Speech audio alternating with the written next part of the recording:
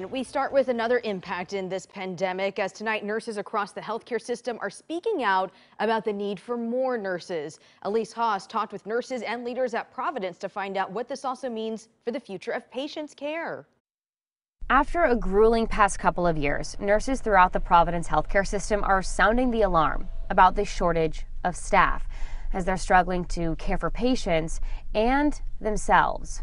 Asking nurses to work for 16 hours straight sometimes with only enough time during their shift to eat a bite as they're running from patient to patient, typically not getting an actual real break.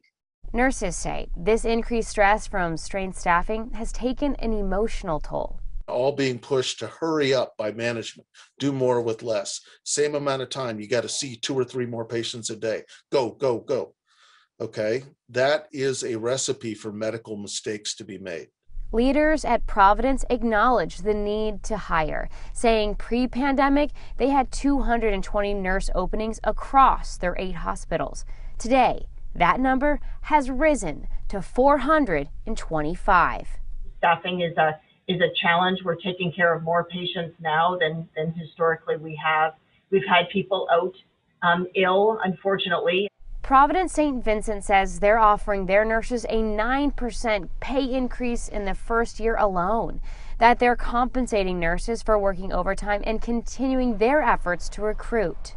We want to work towards an agreeable situation for both parties. The nurses at Providence say the staffing shortage didn't start with COVID, but that this crisis has been years in the making.